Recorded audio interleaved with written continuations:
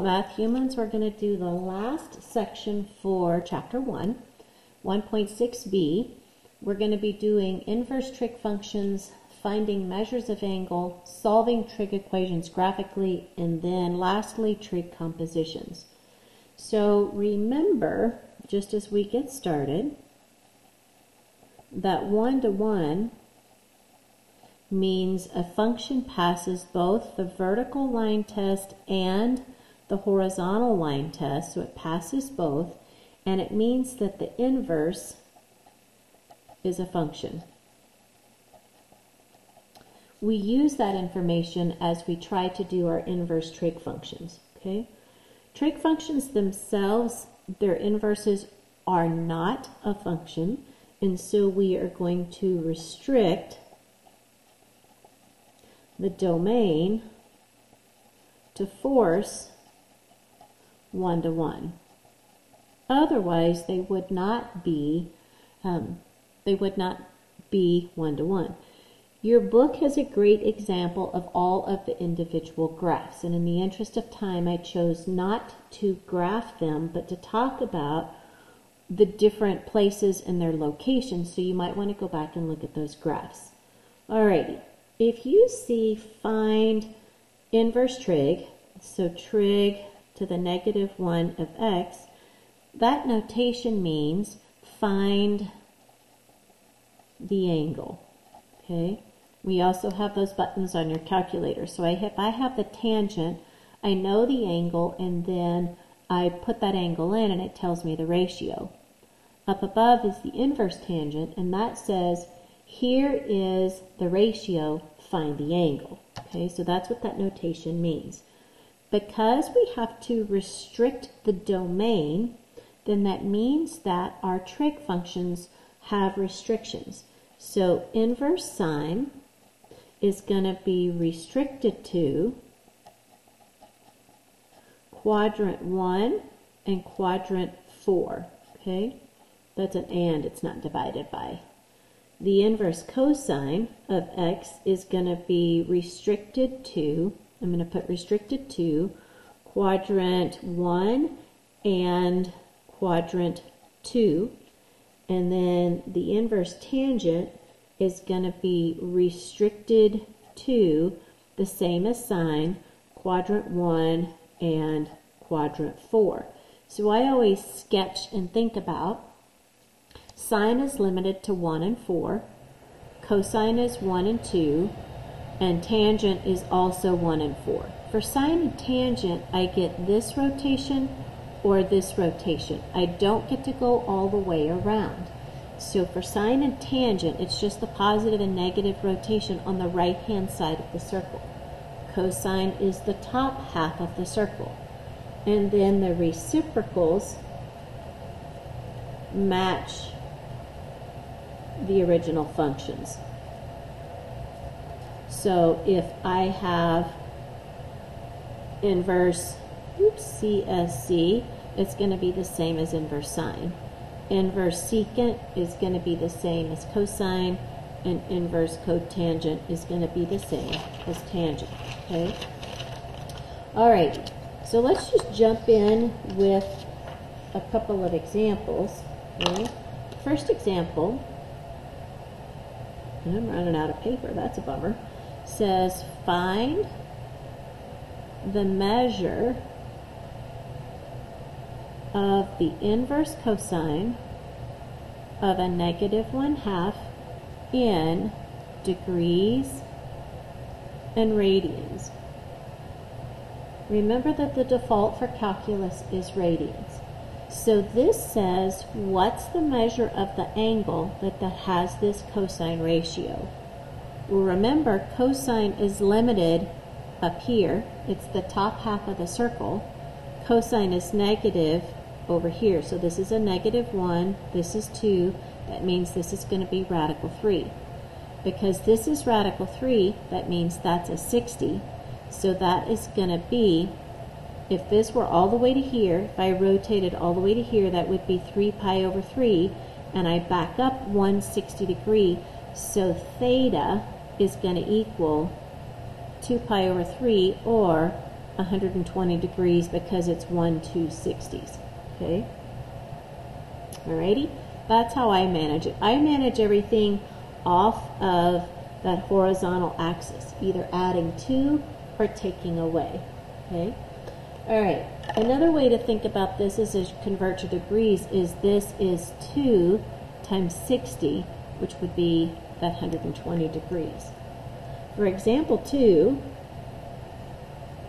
it says find the measure of the inverse tangent of a negative 1 over radical 3.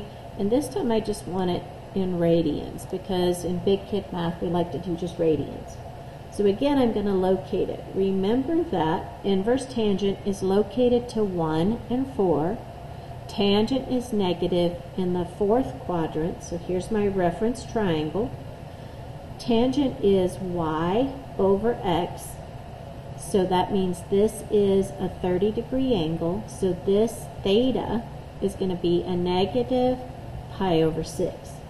It can't be all the way around 11 pi over 6. It can only be the positive or the negative rotation. So theta is a negative pi over 6. Okay.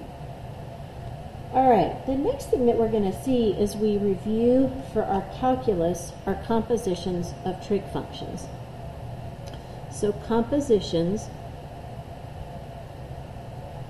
of trig functions. And just like all other compositions, we start on the inside and we work our way out.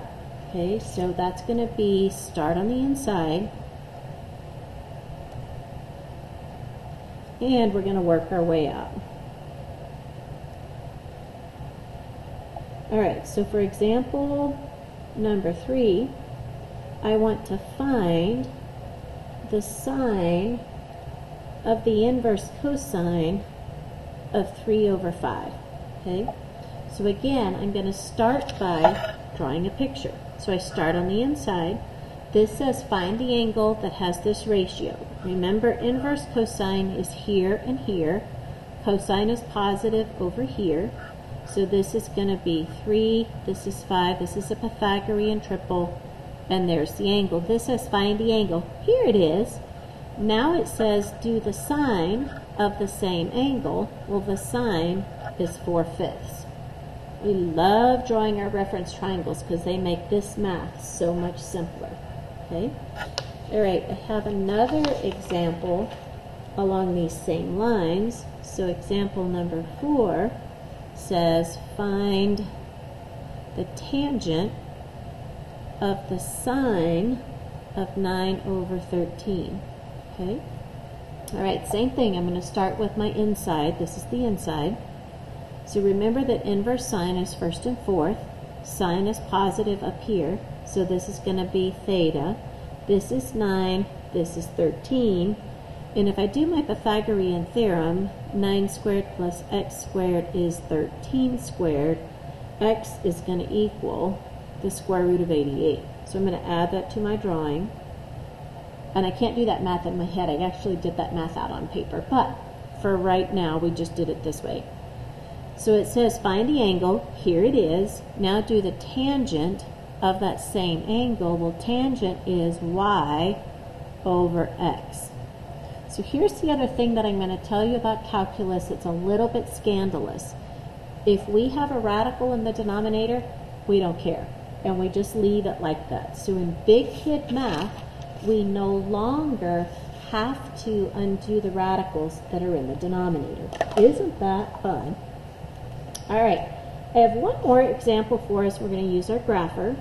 So for example number five, it says solve for x, okay?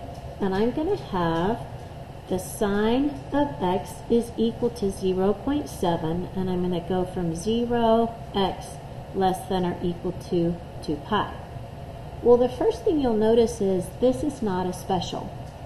And I know that because it's not a half, it's not radical 3 over 2, it's not 1 over radical 2. So this means I'm going to have to use my calculator. This is going to be used to set my window. So I'm going to graph two equations. I'm going to graph, my dog is saying hi, y is equal to the sine of x, and I'm going to graph y is equal to 0.7. To be able to graph trig, we need to make sure that your calculator's in radians. I'm going to go to my y equals and I'm going to enter the sine of x and I'm going to enter 0.7. Now they told us they want us to go from 0 to 2 pi, so I'm going to go to my window. My x min is going to be 0. My x max is 2 second pi. My x scale's fine. Remember that sine oscillates between a negative 1 and 1, so I'm just going to make that be a negative 1, a positive 1, and I'm going to say graph. So here goes my sine function. Ooh, so slow. And there goes the horizontal line. So I have two solutions. So I'm going to do second calculate, 5 for intersect. Notice my cursor jumps right to the sine. Well, a straight line is the shortest distance between two points. So I'm going to cruise over to that point, enter, enter, enter and it tells me that x is equal to 0.775. Then I'm going to do it again. Second, calculate 5 for intersect. And again, I'm going to trace and notice that it changed right there, the straight line, because the shortest distance between two points is a straight line, enter, enter, enter.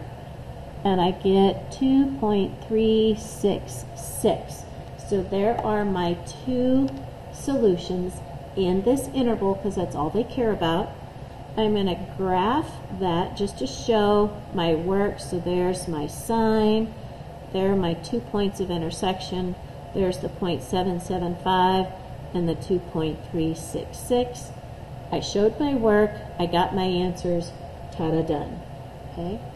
There are a couple of Pythagorean triples, just in case you care, if you don't remember, that are helpful to know. Sorry, that was the last thing I had written down on my paper. I have a 3, 4, 5, a 6, 8, 10, and a 5, 12, 13. Those are the ones that I memorize because it tends to make my right triangles easier if those numbers pop up. All right, my dears, that is the end of chapter 1. Yay, hallelujah. Moving on to the next one soon. See you soon.